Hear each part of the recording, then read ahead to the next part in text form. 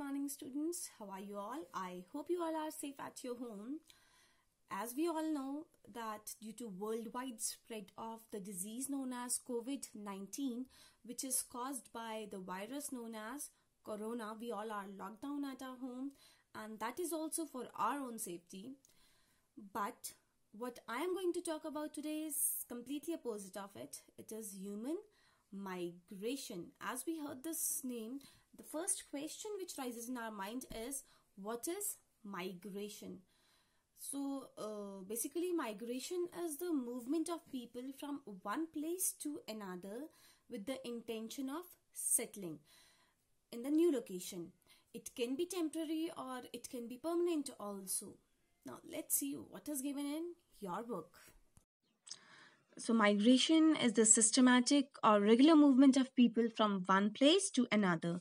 And migration is linked to mankind since ancient time. As we all know, that early man used to be a wanderer. He used to wander from one place to another in search of food and shelter. The settled life began only after the man became a food producer and when he started growing crop on a piece of land uh, what he observed that after some time the productivity becomes low.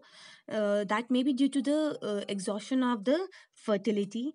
And so uh, he used to abandon that piece of land and move to the new piece of land for growing the crops. And this movement of uh, abandoning the piece of land and then moving to the new piece of land for the crop cultivation is known as shifting agriculture and the migration is not only linked to a mankind only it is also uh, linked with the animals.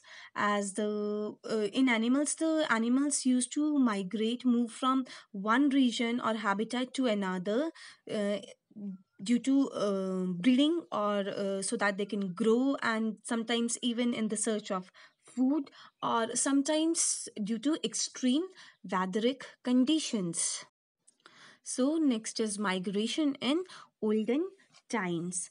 Uh, in early times, migration is carried out within a limited area only, as there were uh, lack of mean of transport. People used to walk carrying their good, and they were also scared to travel far away places. The reason behind uh, this was there were many myths, there were many superstitions, and uh, there were this uh, orthodox thinking among the people that if they travel across the sea then they will uh, lose their caste as according to mythological stories ocean is a resting place of gods and if they travel over the uh, sea the god will get disturbed.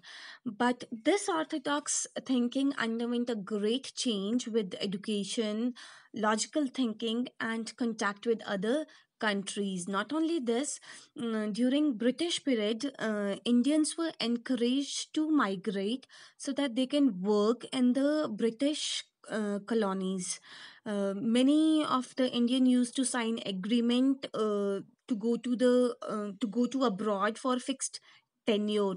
And uh, many of them choose to come back but few of them also choose to settle in the foreign land permanently so migration is something which is being practiced from ancient time uh, earlier people used to be a bit of scared to travel due to different myths and uh, due to lack of knowledge also. But present scenario is completely different from the earlier one. Now people love to travel and people used to migrate uh, due to numerous reasons. And as we discussed earlier that the reason behind the people migration is jambo. Jambo stands for uh, job it can be education the reason can be marriage uh, it can be business the occupation of the peoples or the uh, weatheric condition of that particular place. So this is about the migration. That's all for today. And tomorrow we will discuss about the different types of migration. Till then stay at home stay safe. Bye bye take care